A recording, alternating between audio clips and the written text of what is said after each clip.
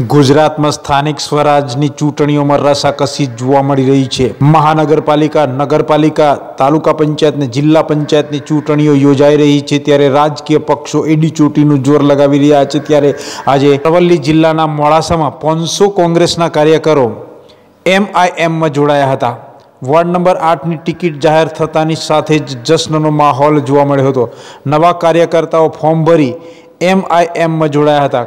કાર્યાલય પર મોટી સંખ્યામાં કાર્યકર્તાઓની ભીડ જોવા મળી હતી. આમ અરવલ્લી જિલ્લામાં પણ એમઆઈએમ પાર્ટીના કાર્યકરોની સંખ્યામાં સતત વધારો જોવા મળી રહ્યો છે. ત્યારે રાજકીય પક્ષો પણ ઈડી ચૂંટણીનું જોર લગાવી રહ્યા છે. ત્યારે મોડાસા નગરપાલિકા વોર્ડ નંબર આઠની ટિકિટ જાહેર થતાં જ જશ્નનો માહોલ જોવા મળ્યો હતો અને નવા નવા કાર્યકરો, પાંચસોથી વધારે કાર્યકરો એમઆઈએમમાં જોડાયા હતા.